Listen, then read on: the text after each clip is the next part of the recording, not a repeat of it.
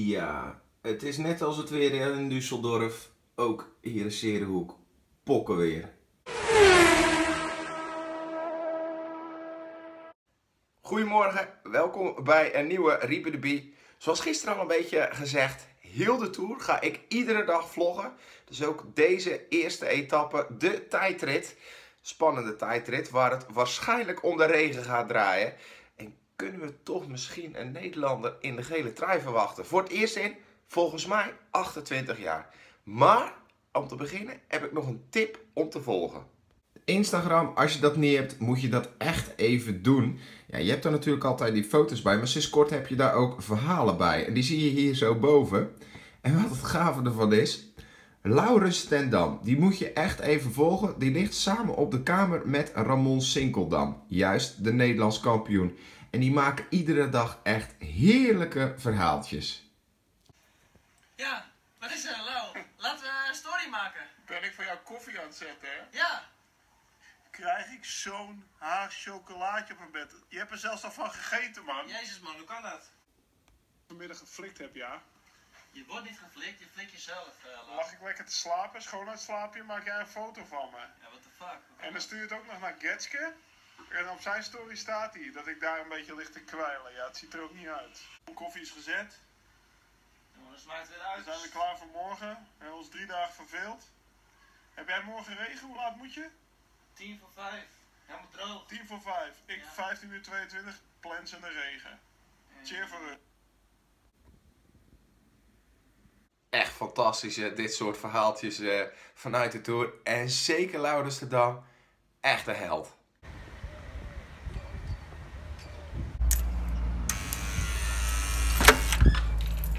Ik moet vandaag eh, werken, maar wie een mooi eh, ja, item gaat maken, morgen, collega Stefan. Hey, Goedemorgen. waar ga je naartoe?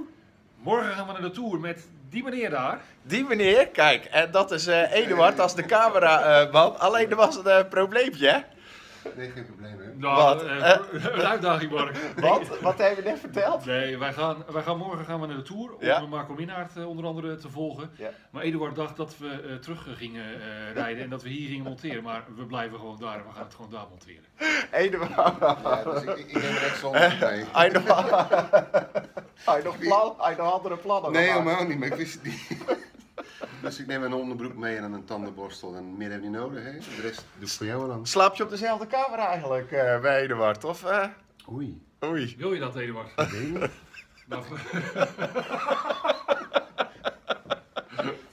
Stefan, en van de week heeft hij eh, Marco Meernaert weer gesproken. De Zeeuwen in de Tour na vier, vijf jaar? vier jaar volgens mij. Vier jaar inderdaad na eh Hogerland. Juist, natuurlijk.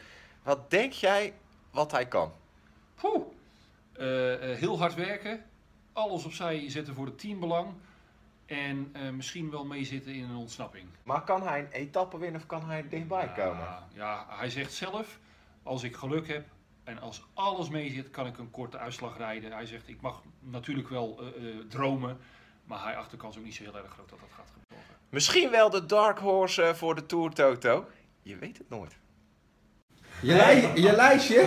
Ja, ja, ik Ja, zit ja, een tijdrit. eh, ik heb- een, speciaal tijdritlijstje? ja, gewoon, weet, weet je, ik zat te denken van ja, ik moet toch op een of andere manier een keer die dagprijs eh, pakken. Want Ja? normaal gesproken, eh, ja, dat gaat best Ja, win jij nooit? Nee, die win ik niet. Dus als ik nou gewoon alleen maar gewoon mensen pak voor de tijdrit vandaag, ja, dan, eh, dan lukt het misschien, weet je. Dus Dat ik- doet niemand. Hè? Dat doet Maar niemand. ik heb gekeken, vorig jaar heeft het één iemand het gedaan. Nou, dat is de Dus beste. als ik, één, als ik één concurrent heb, maar jij gaat nu niet snel nog een tijdritlijstje uur. Oei, oei, oei, Tony Martin, nog een keer. En dan, ja, Oh. je kunt hier ook niet alle risico's nemen. En nou, een man die is geblesseerd dit seizoen tijdens zijn trainingen. Het heeft even geduurd voordat ze hier echt blij mee waren. Gaat goed, jongen. Ik heb Thomas niet.